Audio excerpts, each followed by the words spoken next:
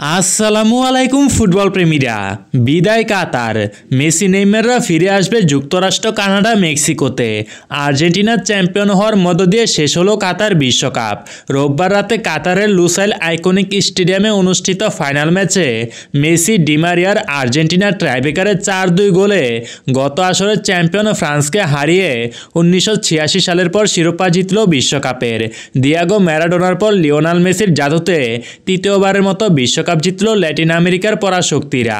বিশে নভেম্বর স্বাগতিক কাতার এবং ইকুয়েডরের মধ্যে ম্যাচ দিয়ে পর্দা উঠেছিল বিশ্বকাপের। পর্দা নামলো আর্জেন্টিনা ও ফ্রান্সের ফাইনাল দিয়ে আঠারোই ডিসেম্বর। এই এক মাস বিশ্বকাপ ঘিরে মধ্যপ্রাচ্যের দেশ কাতার ছিল ফুটবলময়। কেবল কাতারই নয়, বিশ্বকাপ ঘিরে উচ্ছ্বাস উন্মেদনা ছিল সারা দুনিয়ায়। বিশ্বকাপ কোটি কোটি মানুষের ফুটবলের প্রতি ভালোবাসায় এক সুতোয় গেঁথে দিয়েছিল দুনিয়ার সব ফুটবল প্রেমীকে।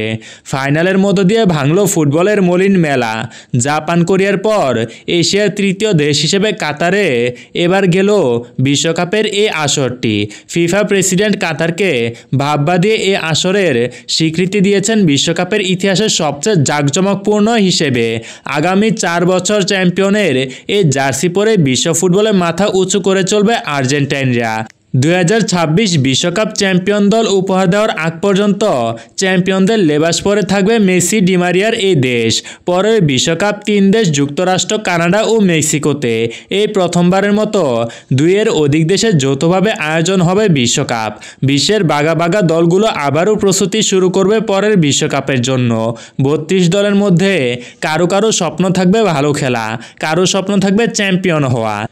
নেইমাররা ব্যর্থ মিশনের পর নতুন করে ফেরার ইঙ্গিত দিয়ে আসবে তারাও। নেইমার, ভিনিসিয়াসরা ফিরবেন। ফিরবেন আবারও বিশ্বকাপ মাতাতে। এশিয়াতে এটা ছিল দ্বিতীয় বিশ্বকাপ।